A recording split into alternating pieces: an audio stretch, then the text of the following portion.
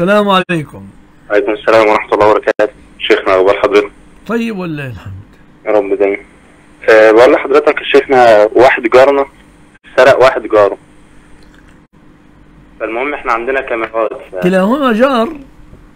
إيه؟ كلاهما جار لكم. آه آه. وإحنا عندنا كاميرا يعني أنا عندي أنا عندي شاهد على الموضوع يعني. طيب. فالمهم والدة السارق ده لما عرفت إن في موضوع سرقة قالت لي بالله عليك لو ابني ما تقول لهمش طب لماذا؟ وهو هيتوب وكده. قل لها رد الس... رد المسروق وأنا أسكت. ما ردت المسروق سأخبرهم. آه طب أنا ما أخبرتهوش يا شيخ. ها؟ هو المسروق لما سألني آه، عرضت بالكلام ما أنت رجل مش مظبوط. لا والله يا شيخنا وأنا خفت إن يحصل فتنة أنت الآن مسيء للاثنين مسيء للمسروق منه في دنياه ومسيء للسارق في آخرته. تمام طب أنا عليا إيه دلوقتي يا شيخ؟ عليك أن تقول لأم جارك هذه يا والدة أنا سألت شيخ وقال لي إنك إنك إذا يعني تنصحهم برد المسروق رددتم المسروق وإلا سأخبره حتى أنقذكم من عذاب الله.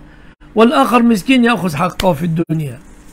بس هو الموضوع قديم يا شيخنا يعني الموضوع من شهرين مثلا. من شهرين من ثلاث شهور لازم تحصل. كده تمام يا شيخ. روح كلمهم الآن. يا شي يا أم فلان ابنك سرق وأنا عندي الكاميرات.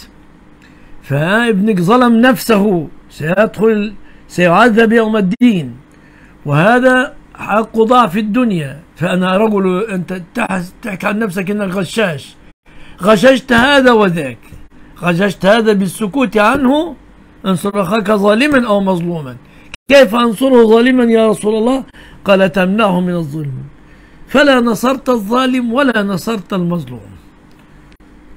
شيخنا يعني هو كان ممكن يحصل فتنة بين الجارين يا حبيبي أنا يعني. قلت لك ضح الفتنة نعالج القصة أنها تسلم الأشياء بالحسنى بالستر. طب أنا لو بلغتها إن هي تعمل كده وما عملتش هل أنا عليا المسروق منه. نعم؟ سأبلغ من سرق منه الشيء. ولا كده بصراحة أخبرها بذلك صراحة. إذا لم ترد السلعة الشيء المسروق لصاحبه سأبلغه. بس كده. تمام يا شيخنا جزاك رجل قوي لازم تكون قوي في الحق. تاخذ تسيب الحرام يسرق لو, لو أنت مكان المسروق منه ماذا كنت تحب؟ حتى ترجع تلقى حاجتك. السلام عليكم.